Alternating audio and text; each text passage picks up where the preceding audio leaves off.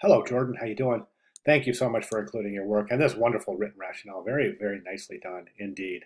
Make sure you save all your writing too, because a lot of this will come into play. You'll you'll be able to reuse a lot of your writing in um, the final submission part two, which is the written uh, written analysis for for the project. So let's go ahead and take a look at the the banner. I, listen, I want to tell you something, man good job. I mean, you really took this in a different direction, and I, I, I just think it's refreshing. I really do. I think you, you've really done a good job conceptually. I think you really, really went in a unique direction, and it works. It totally works.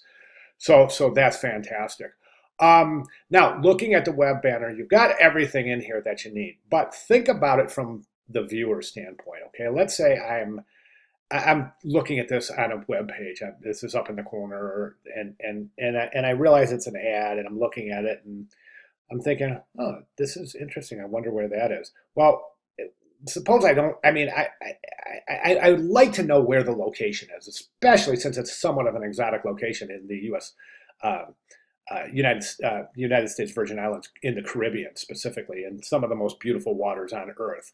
So I think that is very pertinent information. You don't have to include the entire contact information, but I would certainly include the location in the banner.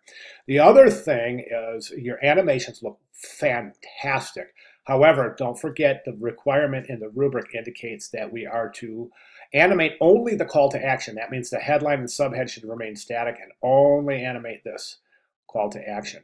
I think your your timing and your cadence is very nicely done on these. but once you take a look at this, the, the, the subhead, I'm sorry, the call to action animation, I would like to see it fade in and then fade out instead of that. But just it fades in, visible for a second, then boom, it's gone. I would rather see it fade in, visible, then fade out, and, and don't let it fade out for any more than a fraction of a second but as soon as it fades out, have it fade back in so the viewer knows that there's there's something. It's actually going to work to your benefit. Um, you don't want it to be invisible, gone in any point during the animation because the viewer, depending on when they look at it, could feasibly miss that promotion.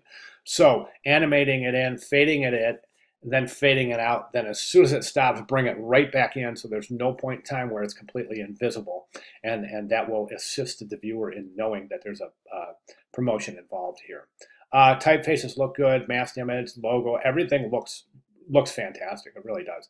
Um, so my only recommendations are those: the the animation and and uh, um, the timing, etc. Fades. That's it. Other and then uh, of course add that location. Other than that, you are doing wonderful work. All right, thanks very much. Hey, any questions at all? Please feel free to let me know. Thanks, Jordan.